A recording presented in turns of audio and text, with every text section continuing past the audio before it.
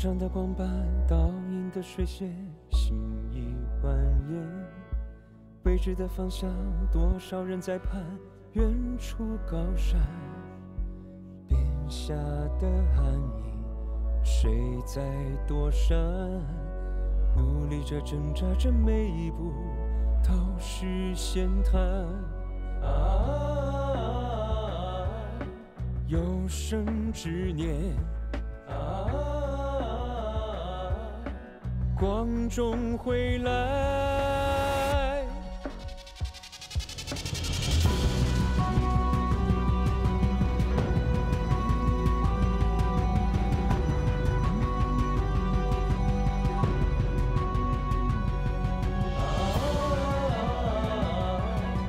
万水千山，光中回心无痕。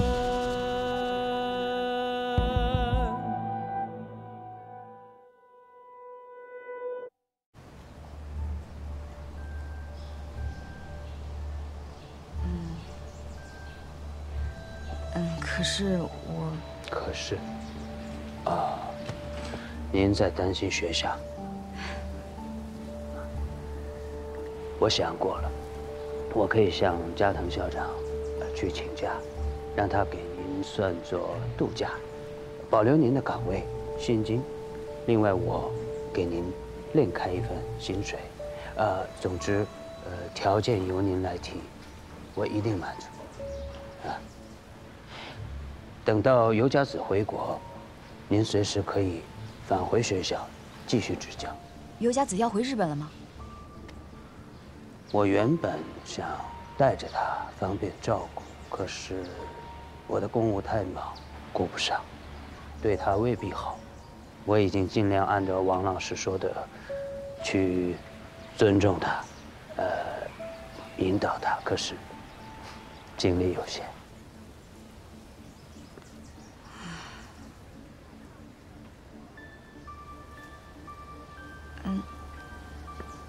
那好吧，那就让我们一起来帮助尤佳子吧。你答应了吗？非常感谢。先生到了。哎，谢谢。景天科长，王老师，我正在找你前景三，有事情。啊，景天科长是有什么事情要吩咐吗？那景天先生，我就先走了，你们聊。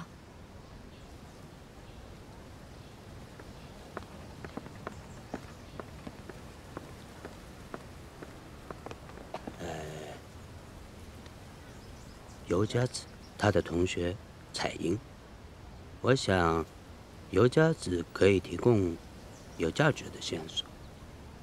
那我想，能否你去问问他？我相信他更愿意对你说。非常愿意下了。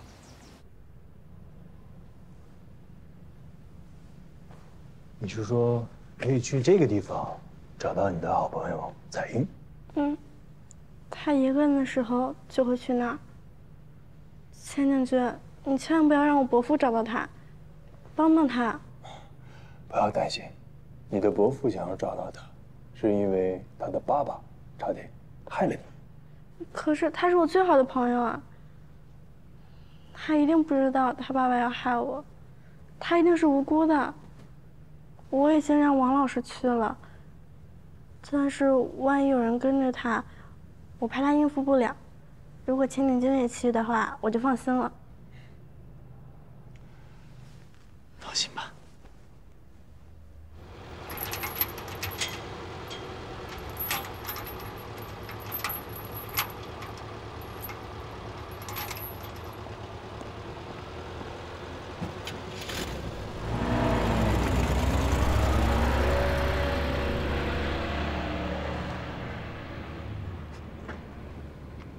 你是不是找到彩英了？煤机关的人都撤了，你约我来这儿干嘛？你还没回答我的问题呢。看来尤佳子把他跟彩英的小秘密也告诉你了。是啊，放心吧，彩英在一个很安全的地方。据彩英说，她爸爸让她去姑姑家找她妈妈。她到的时候，她妈妈就已经死了。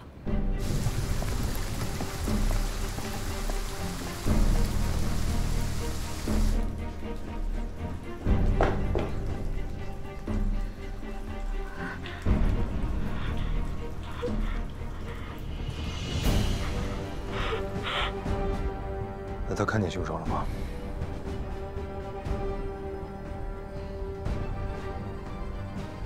果然不是自杀。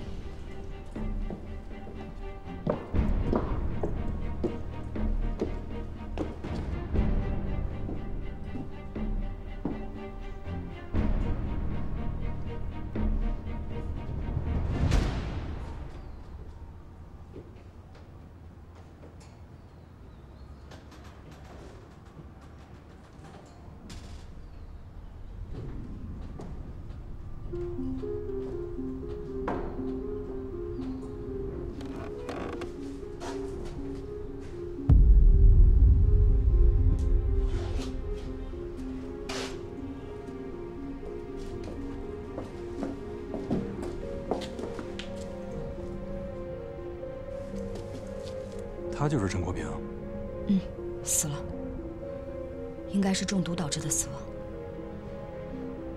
我白天就觉得这面墙有问题。我摸的时候，发现这面墙是新砌的。后来我查过他的资料，他学过建筑，还参与过礼堂的改造。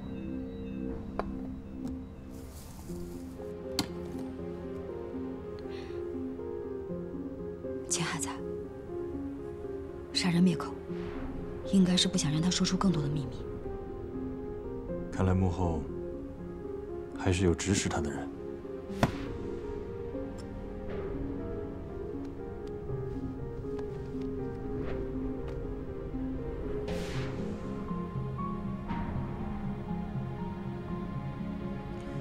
帮我一个忙，一会儿给政治保卫局打电话，让他们来处理现场。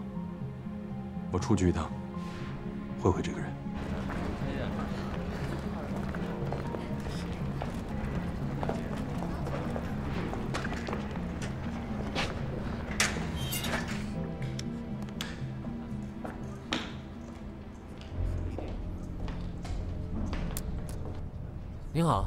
您是要住店吗？我想找人。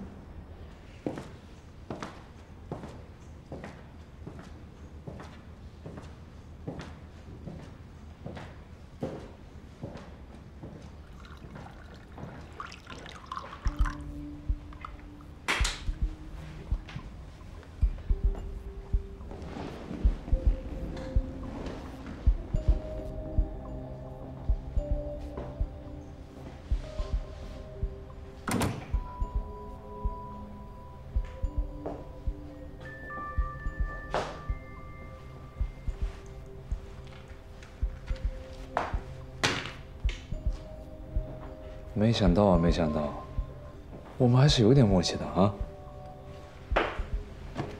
你给陈国平四海旅社的火柴，不就是想把我引过来吗？真给面子。说说吧，为什么要那么做？输不起了，还是伺机报复？想太多了，我只不过是因为刚到上海，想给那个景甜一份见面礼。我没想过你会在那儿。对付景甜可以，可是孩子是无辜的。你为什么要对尤家子那么做呢？无辜？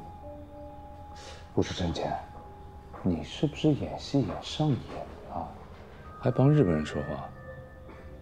战场上哪有什么无辜啊？那个魔术师已经帮你完成了任务，你为什么还要杀他们夫妻俩灭口呢？没有爆炸声，看来陈乾已经解决掉那个炸弹了。要是连这点小麻烦都解决不了，我也没必要陪他玩。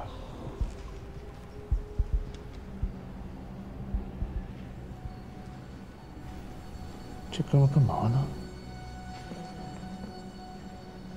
是条绿线，原计划说好的，事成之后他跟他女儿继续躲在里面，等天黑之后再出来，由我们负责接应。他自己怎么先跑了？不按剧本演，这不捣乱呢吗？那那他女儿呢？是不是也跑了？你问我？问他。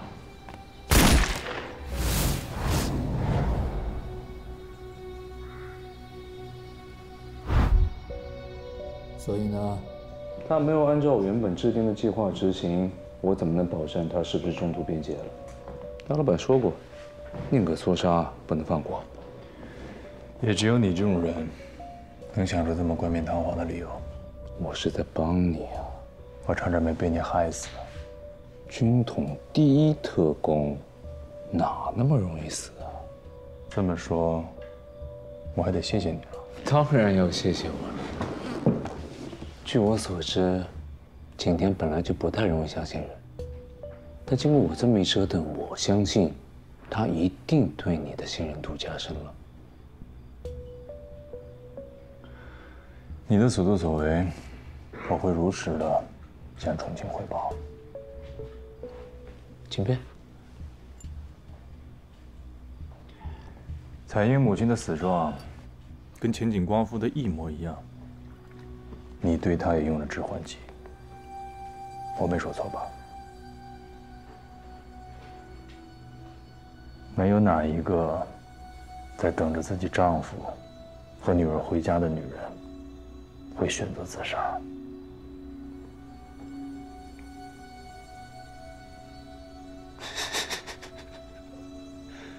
怎么编啊！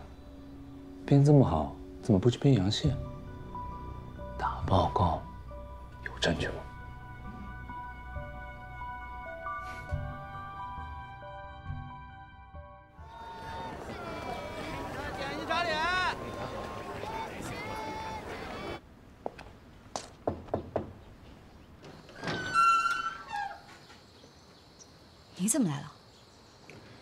景天说让我来接尤佳子的家庭教师去丁香花园，能为家人效劳，求之不得。大湖春的，是吗？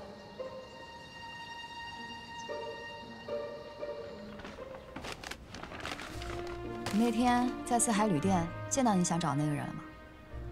见着了，可惜最后让他跑了。跑了？我刚在梅机关跟景田汇报完一次，是不是还得跟你汇报一遍？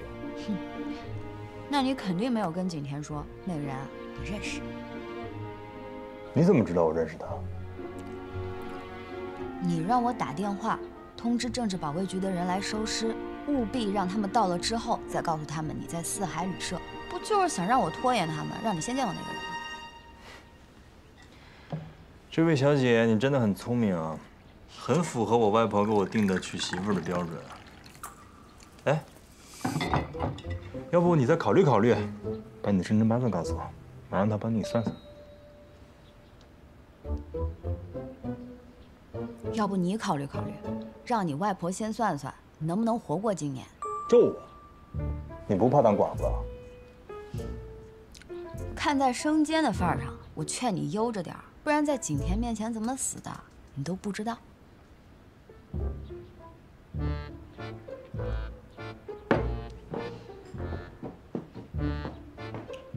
不会的，我们互相掩护，适时的打情骂俏，只会伪装的更好，活得更久。咱俩是一路人吗？是不是一路人我不清楚，但现在肯定是一条绳上的蚂蚱。相互不知底细的蚂蚱，那会一起死的。那好，那就透个底。你把彩英藏哪儿了？你想干嘛呀？这个孩子肯定是无辜的，他需要被照顾。我会照顾好他的。好，我可以不问你是怎么照顾他的，但是在尤佳子面前，我们不能有两个说法吧？这还用你说？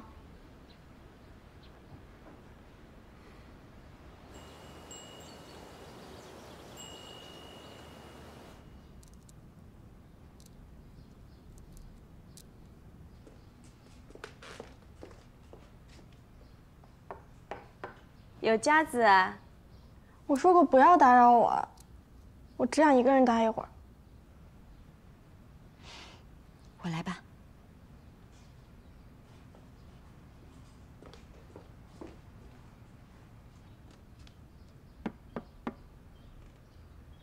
柳佳子，你是连我也不想见吗？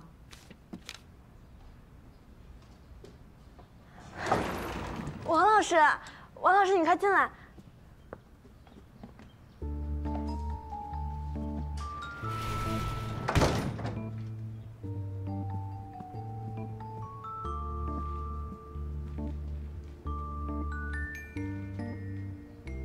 王老师，你们找到他了吗？放心吧，彩英她没事。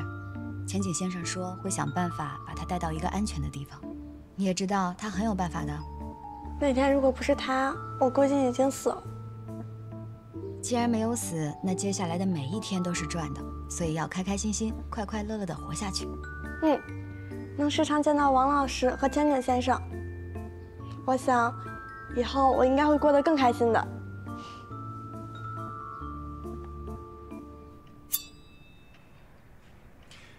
金天桑，太贵重了。这是我家传的青龙匕首，你不顾性命救了尤家子，这一点小礼物不算什么。所谓宝刀赠知己，还请您笑纳。那看在景天桑视我为知己的诚意上，我就不推脱了，收下了。谢谢。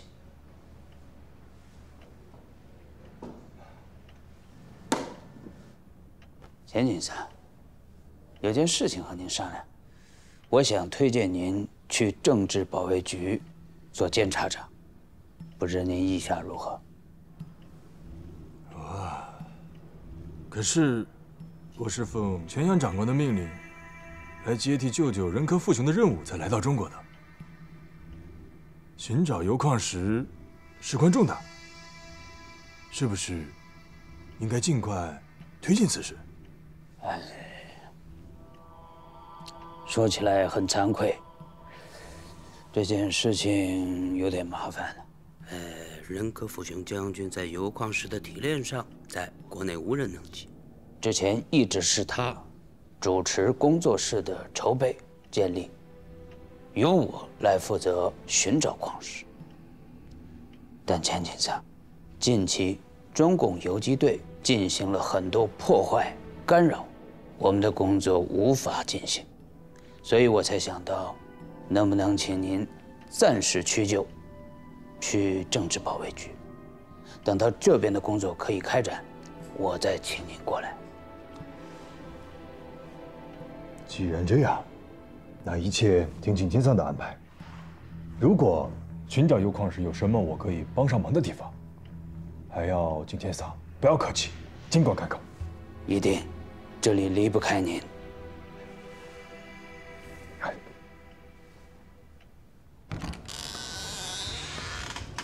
小猫咪，看见我的胭脂了吗？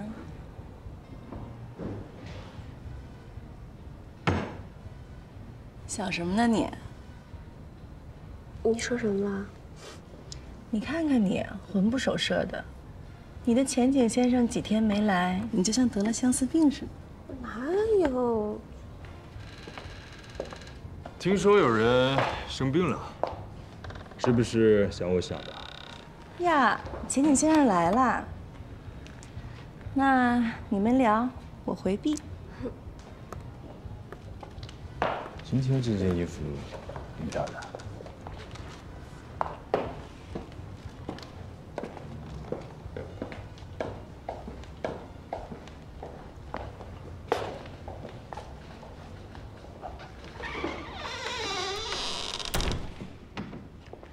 复了吗？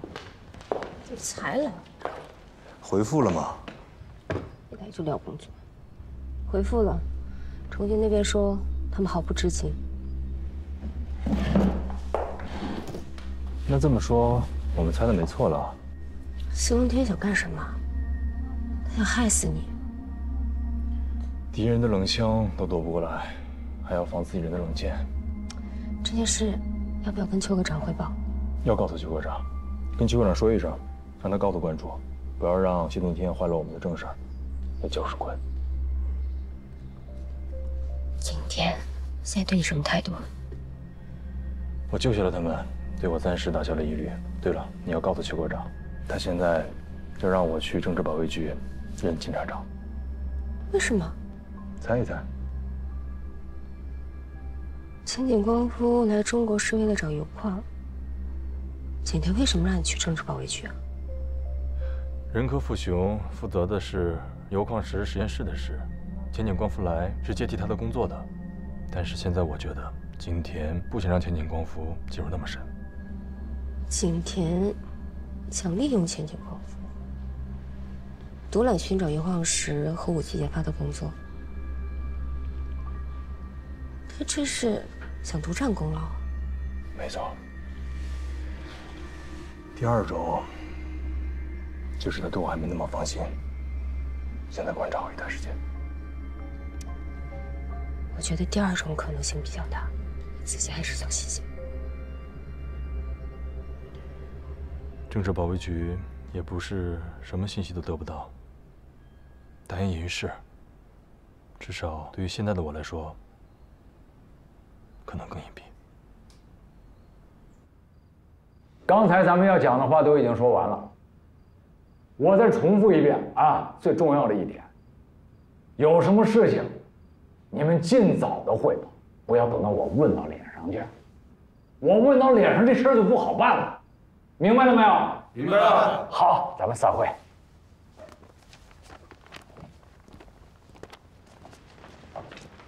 关叔啊，有件事情要跟您汇报一下，请讲。啊，你先出去把门关上。邱科长，请坐。好。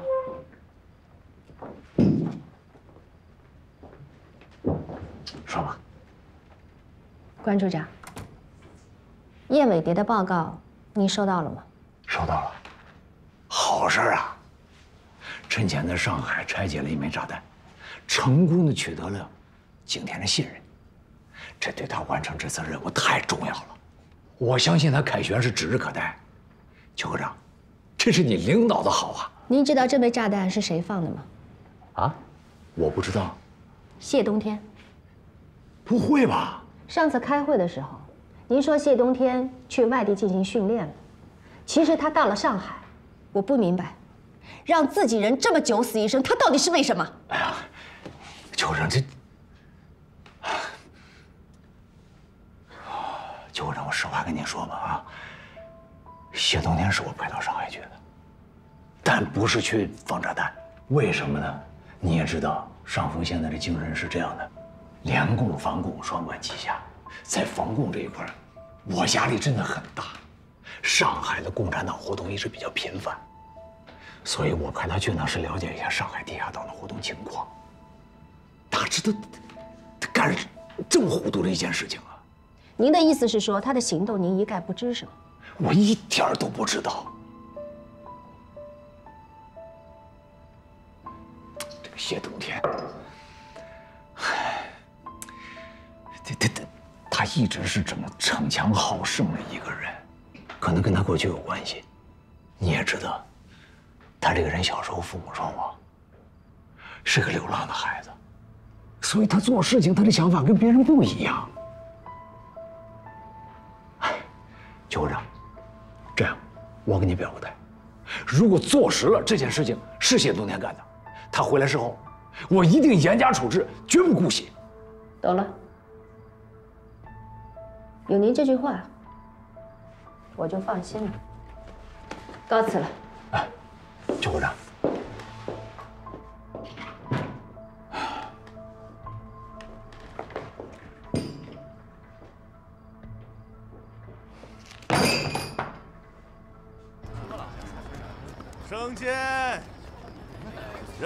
腾腾的生煎。给我一袋生煎。好嘞。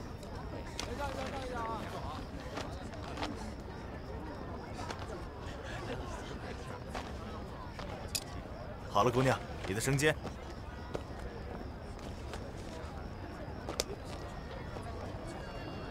给，谢谢啊。你怎么来了？能为家人效劳，求之不得。大湖春的，是吗？这位小姐，你这么聪明，很符合我外婆给我定的娶媳妇的标准。要不你再考虑考虑，把你的生辰八字告诉我，我让他帮你算算。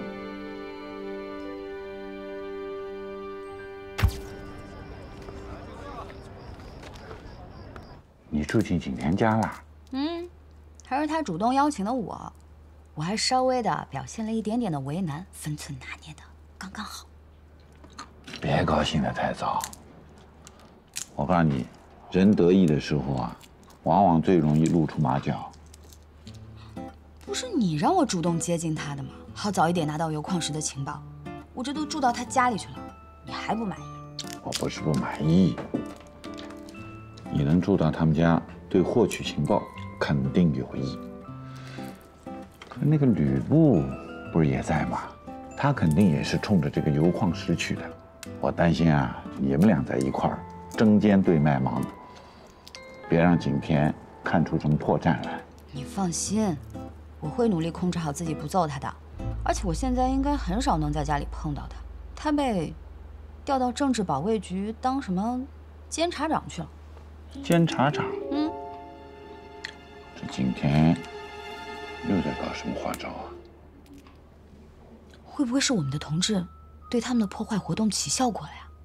所以勘探油矿石一事一直推动不了。有这可能，我回头跟上级确认一下。不过不管是不是啊，你现在必须全力以赴的获取情报。有了可靠的情报，任务就等于完成了一半。我知道。今天留下来吃晚饭吧。怎么，龙头哥不在，家里的剩饭没人解决啦？啊，我小姑娘没良心了。啊，龙头哥在的时候，我没留你吃过饭。那我要点菜。想吃啥？一只蹄膀。哎，你不是说，为了我这条老命，不吃蹄膀了吗？你不是现在活得好好的吗？再吃几次也没什么关系。已经烧好了，我给你去端。谢谢海叔。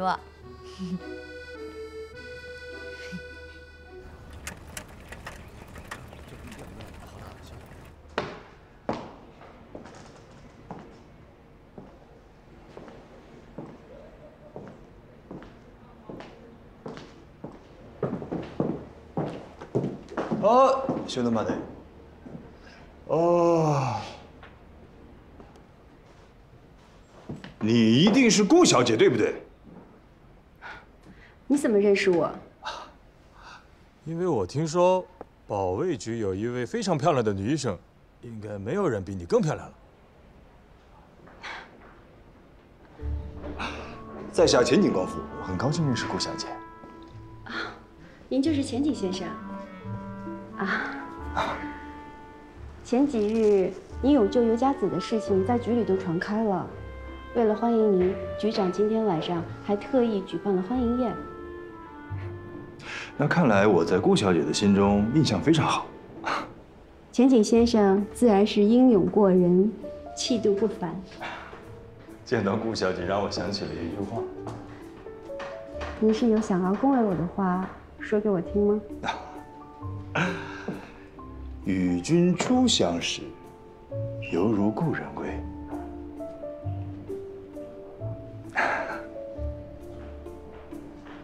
顾小姐有空吗？可不可以请你喝杯咖啡啊？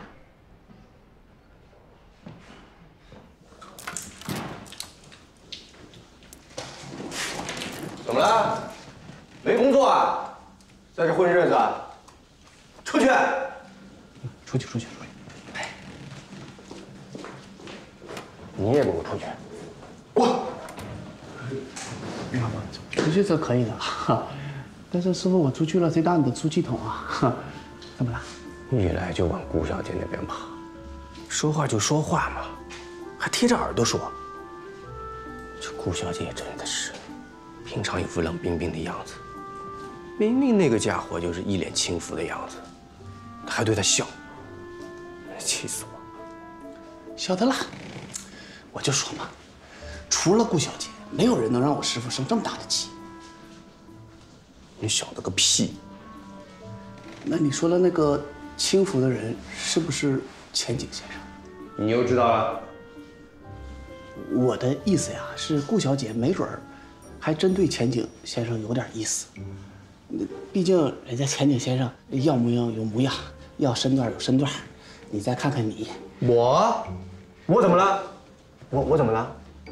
我我比他，我比比比，看他就比我高一点。对对对，保持住，就是这样啊！你就把凶我的这个劲儿拿出来，对吧？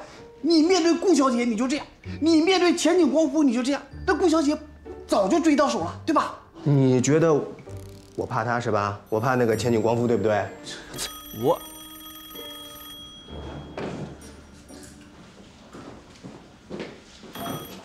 喂，我周总。哎，哎呦，前景长官，哎，您好，您好，您好。哦，对对对，我正想找您去汇报工作呢。哎，对对对对对。哎，好的，好的，好的，好的，马上就到，马上就到。哎，好好。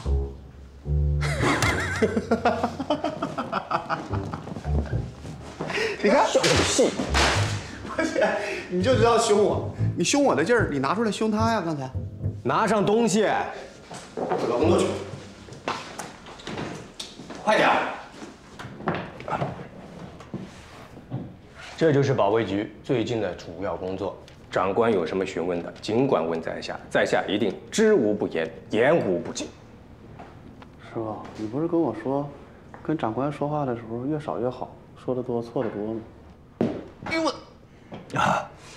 除了万局长，我也就只认识二位了，还请多多指教。不敢不敢不敢。钱景先生，您不是还认识顾小姐吗？哎呦！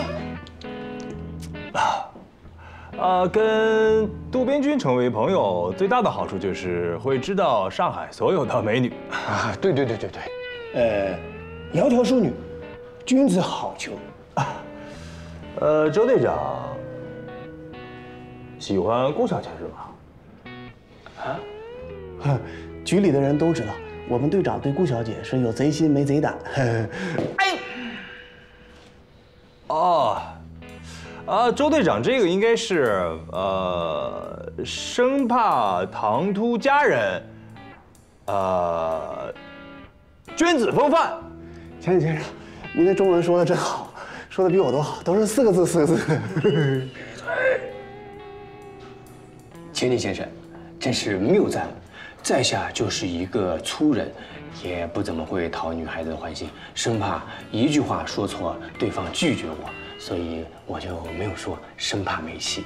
啊，讨女人欢心这种事情我也不太擅长啊。不过周队长，啊，哦，如果想要女人欣赏你，就一定需要想一些办法。呃，要想什么办法呢？啊，呃，周队长，如果想要追求顾小姐的话。也许我可以给到一些帮助或者建议。呃，今天晚上我们是不是有一个宴会？哦，对对对，有一个万局安排的欢迎宴。啊，那太好了。那我们晚上边喝边聊。那太好了。呃，我在这里先谢谢钱金长官。啊，不要客气，以后还请周队长多多指教，多多帮忙。这是属下应该的，应该。好。哈哈。呃，多多，嗨，呃，哦，这个先放在我这里一下，有空的时候学习一下。哦，那我们就先告退了。哎。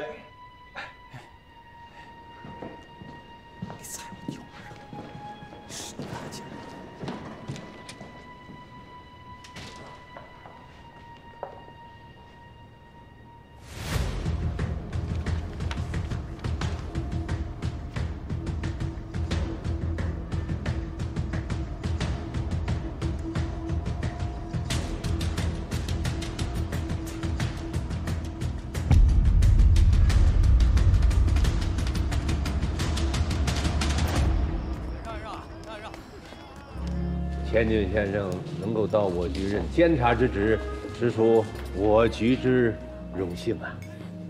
文局长，多多指教。谢。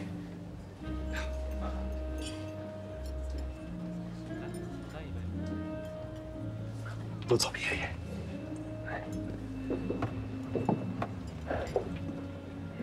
问局长，以后前景上的工作就要劳烦你多多配合了，请多关照。请景天科长放心，万某日后定当带领全局上下，遵从钱景先生的指教，积极配合梅机关行动，争取财力兴国。很好。那么，为我们的京城合作举杯。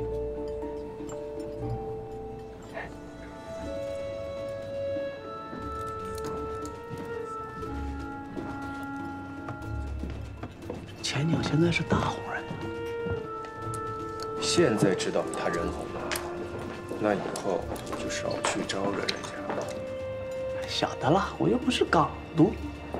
侬来不讲，啥人等搿搭吃瓜子了？应该腔调。嗑瓜子怎么了？哎呀，搞啊搞回，在吓我。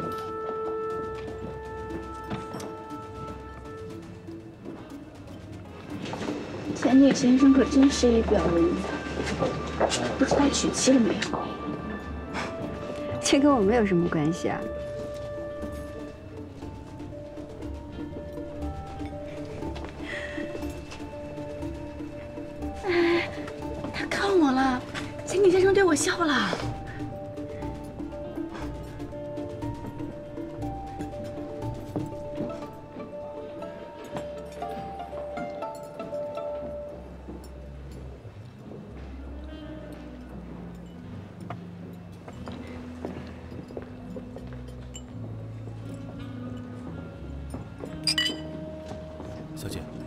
我能请你跳支舞吗？对不起，我不会。那这位小姐呢？那我们去了。谢谢。请。诸位，失陪一下。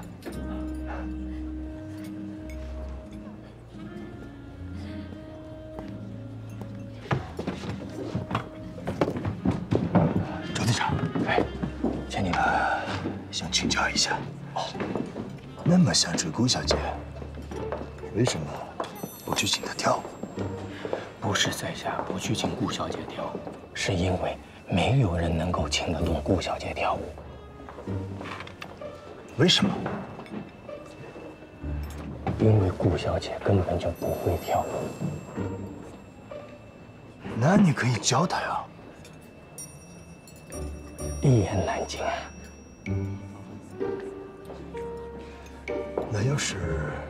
我能请到顾小姐跳舞呢？呀，那可太厉害了。哦，不知道千金长官有什么办法吗？大哥赌，赌什么？如果我能请到顾小姐跳舞，周队长可不可以帮我办一件私事？如果是在下输了，任凭千金长官调遣。一言为定。一言为定。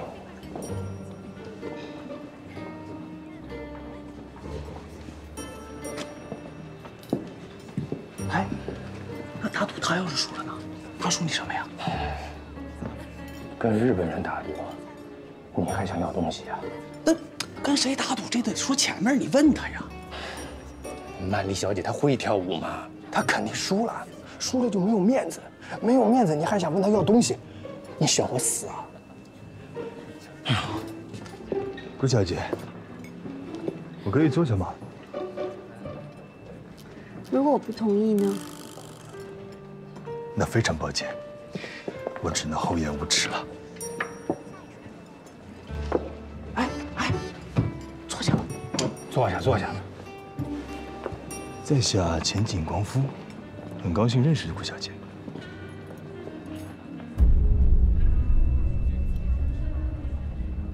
我会在吕布身上留下这样的一个针脚，以便营救他的同志，确认他的身份。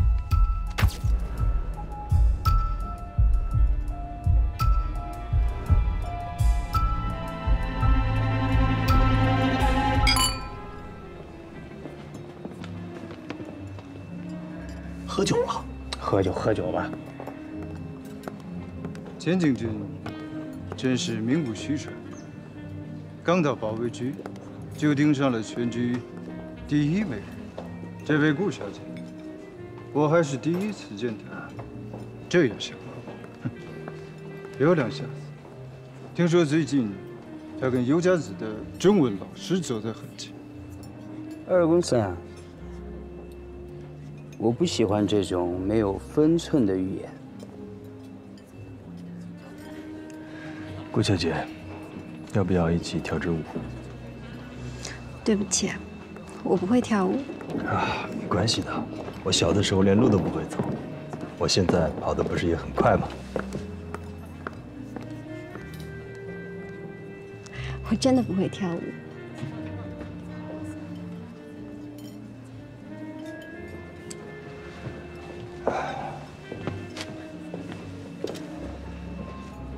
那我相信顾小姐会演戏吧？那么多人盯着我呢，我相信怎么演顾小姐应该比我清楚。如果我不配合你演呢？黑猫盯着我们，我相信顾小姐一定会演得很好。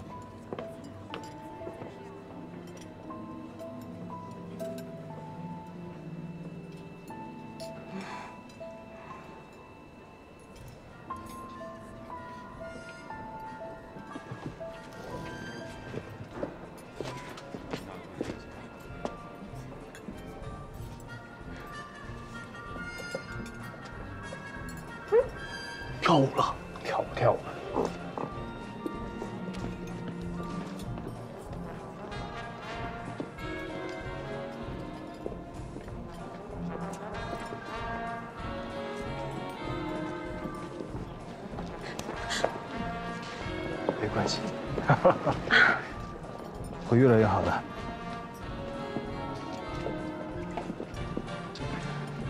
你胆子可真大。欠钱还钱，欠钱还钱，这是我的原则。我总要过来当着你的面跟你说一声谢谢。我能认出你，你也难过不在他们面前露出马脚。你要小心。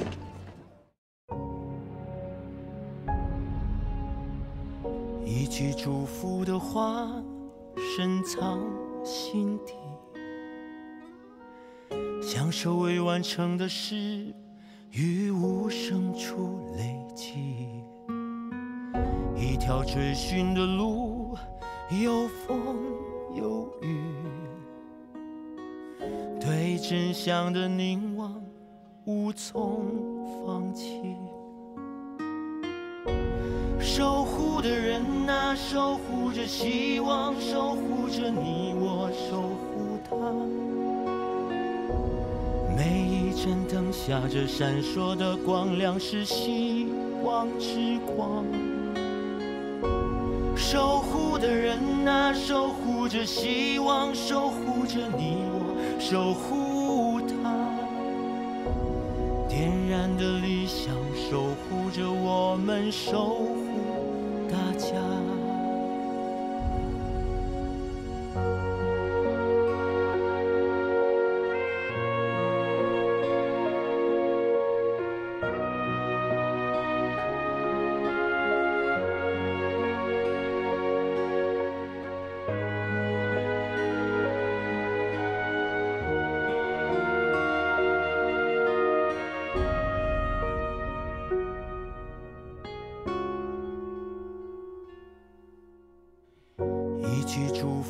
话，深藏心底。享受未完成的事，于无声处累积。一条追寻的路，有风有雨。对真相的凝望，无从放弃。守护着希望，守护着你我，守护他。每一盏灯下，这闪烁的光亮是希望之光。守护的人啊，守护着希望，守护着你我，守护他。点燃的理想，守护着我们，守护大家。